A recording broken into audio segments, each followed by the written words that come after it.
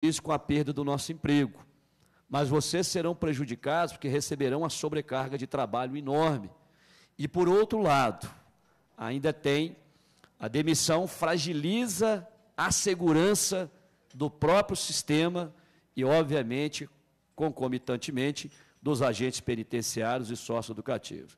Então, a demissão dos agentes penitenciários hoje e socioeducativo contratado é uma, de, uma decisão gravíssima para o próprio governo, tomando de vista, do ponto de vista da segurança dos próprios agentes, da sobrecarga de trabalhos para os que ficam e também da proteção da sociedade que ficará cada vez mais vulnerável. População carcerária, segundo o promotor de justiça que hoje esteve aqui, da promotoria uh, de execução criminal, doutor Henrique Macedo, está hoje com 71 mil presos, 3 mil com as APACs e 68 mil com o sistema prisional. Ou seja, de 60 mil, aumentou 18 mil presos no sistema prisional. Aliás, 21 mil presos. É, aliás, de 60 mil, aumentaram 11 mil presos. Eu queria aproveitar a presença do líder de governo aqui, fazer um apelo ao líder de governo, deputado André Quintão. Eles têm o vídeo da fala de Vossa Excelência, da fala do deputado Durval Anjo, do presidente, e se a emenda que foi aprovada não agrada ao governo, não há nenhum problema em o governo mandar para essa casa uma emenda fruto de um entendimento que permita a prorrogação e a preservação dos contratos que aqui se encontram. É muito grave a situação do sistema prisional sob todos os aspectos.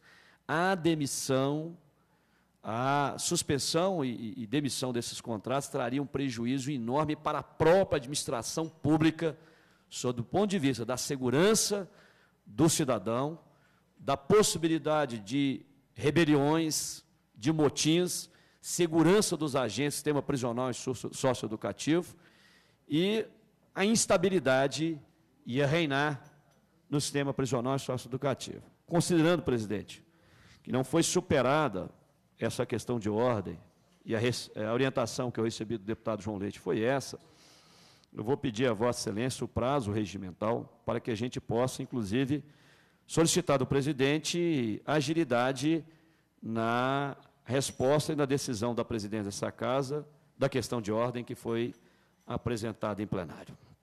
É, perfeitamente, como permite o regimento, essa presidência deixa de votar a matéria e convoca uma extraordinária para apreciar esse projeto às 16 horas e 15 minutos de amanhã. Cumprida a finalidade da reunião, a presidência agradece a presença dos parlamentares, dos convidados e do público presente, convoca os membros para a próxima reunião ordinária, determina a lavratura da ata e encerra os trabalhos fora da reunião, porque eu só vou discutir coisas da reunião, deputado Sargento Rodrigues, eu recebi uma comissão de agente penitenciário e coloquei de forma muito clara, muito clara, qual é a posição do governo a respeito disso. E foi num alto nível com a compreensão. E coloquei qual o caminho que eles deveriam trilhar, a meu ver, que seria o mais legal. Então, só para te dizer, fora da reunião, porque eu não discuto coisa que seja que não é objeto no caso do veto. Então, essa liderança do governo Fernando Pimentel já se reuniu com a comissão de agentes penitenciários. Presidente, pela hora, presidente. Não, está fora da reunião, pode falar. Ah, bom, então pedir a gentileza do, não, porque eu som. a reunião. Não, porque ele esqueceu. Para manter o som. É, eu queria dizer Vossa Excelência se a fala de Vossa Excelência referente ao TAC esse TAC, ele perdeu o objeto quando nós votamos aqui o projeto de lei que permitiu 850 cargos comissionados para o Ministério Público. O projeto de lei foi sancionado pelo governador do Estado. Portanto, o Ministério Público não tem como sequer fazer qualquer questionamento à administração pública. O ah, cargo tem com... uma arguição de inconstitucionalidade da lei. Tá? Então, só para você qual lei? saber.